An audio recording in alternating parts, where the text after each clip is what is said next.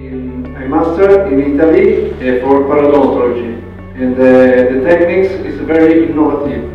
It's uh, for me it's very important. It's a new technique for Dr. Chao because in Italy non um, non existe. And uh, thank you, thank you very much. Introducing Chao Pinhole Gum Rejuvenation's Pinhole Surgical Technique.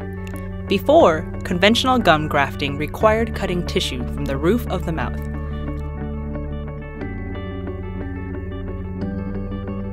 The gum is then cut over the area of the recession and lifted. The tissue from the palate is placed over the recessions. Once complete, sutures hold the graft in place during healing.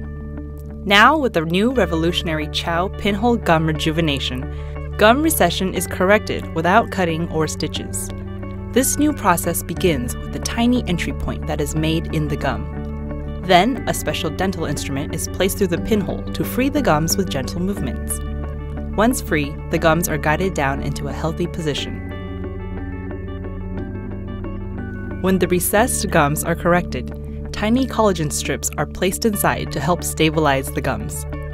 Incredibly, the pinhole heals rather quickly and often overnight. When complete, the receding gums are corrected with a minimally invasive treatment that is quick, easy, and instantly pleasing.